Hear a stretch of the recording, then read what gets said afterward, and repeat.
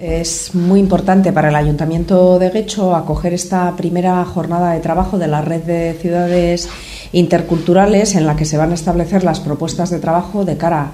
al año 2016 con retos tan importantes como los que van a suponer bueno pues la acogida y, dar respuesta de las ciudades a la, acogida de las personas eh, refugiadas. Entonces bueno pues eh, el contenido también de las futuras mesas de diálogo con el, con el Gobierno central en materia de integración y, eh, convivencia eh, como parte ¿no? de, la acción promovida por, por, el propio por el Consejo de Europa.